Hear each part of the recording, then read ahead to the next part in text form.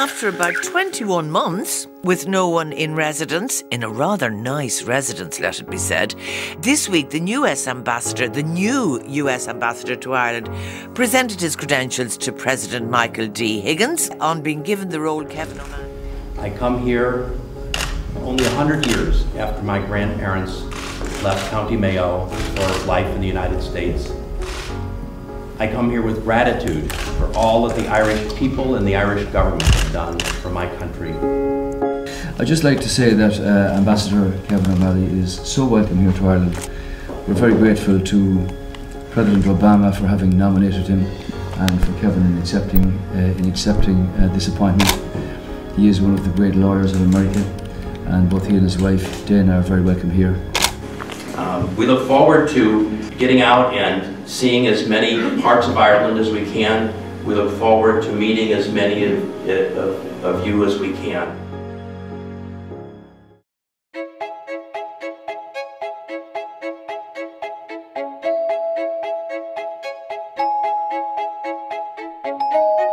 Ambassador O'Malley, when he arrived, he made it very clear that one of his key priorities was strengthening the amazing US Ireland business relationship. And he's been so true to his word. Ambassador O'Malley has visited Irish operations of US companies from West Kerry to South Wexford to North Donegal and everywhere in between.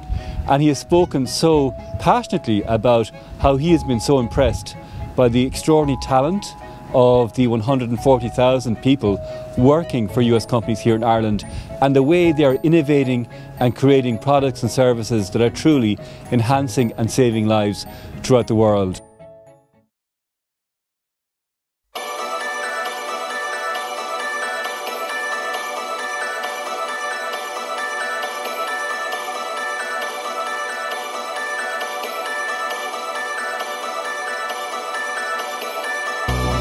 And one of the things I am so proud of our ambassador, Ambassador O'Malley, is he has gone out of his way to reach in every nook and cranny, every organization, big and small, to uh, to get to know, to get to know this country, to get to know what makes it tick, to get to, to get to know each of the individuals.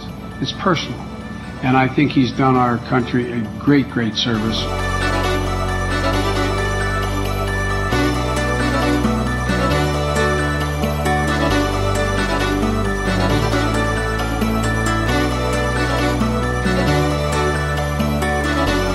So we've had a chance to come up to the very top of Skellig Michael to see the, the place where the monks lived, to see their chapel, and to feel uh, the spirituality and the monasticism that existed here 1,500 years ago.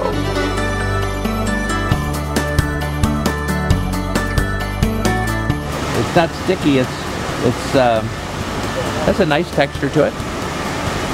I don't know that I know what to how to cook it, but uh, but you didn't ask me that.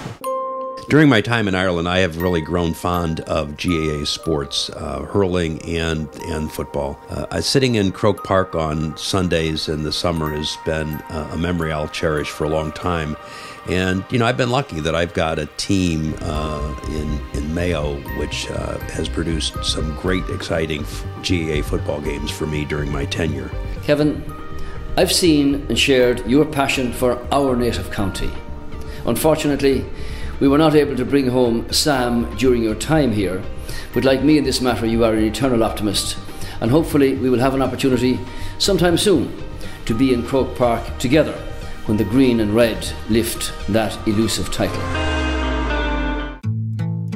Getting to know the young people of Ireland has been a key focus of my time through the J1 program, which is that traditional rite of passage for Irish students. I've met many of Ireland's best and the brightest.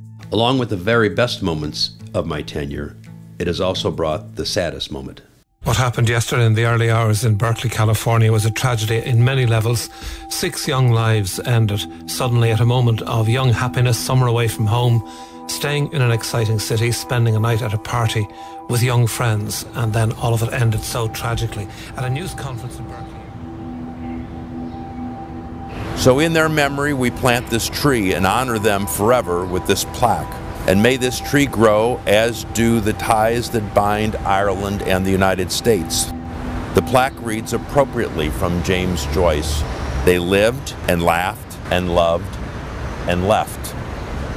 They will not be forgotten. Although Kevin's only been in Ireland for 18 months, he has crammed in almost eight years of work. One of his legacies will be his Creative Minds initiative, in which he's been busy connecting the next generation of Irish and American leaders who will be singing in this room someday.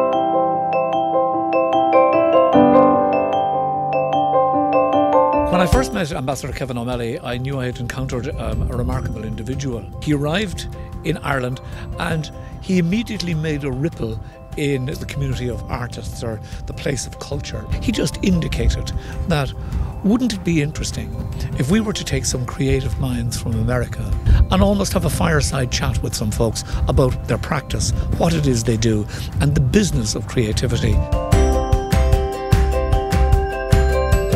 Managed uh, almost single handedly to turn Deerfield, which is the US um, ambassador's residence here, into one of the coolest music uh, venues and one of the coolest arts venues through the Creative Minds series.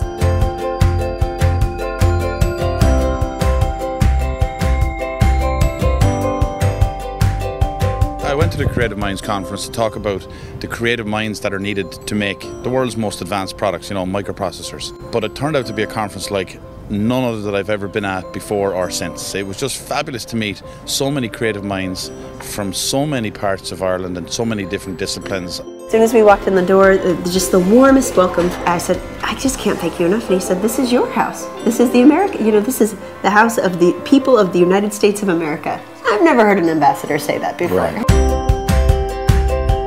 As Dean and I leave you, uh, one thing I know for certain is that America's relationship with Ireland will continue to thrive because the ties that keep us together are so deeply rooted and so strong and, and growing uh, each year.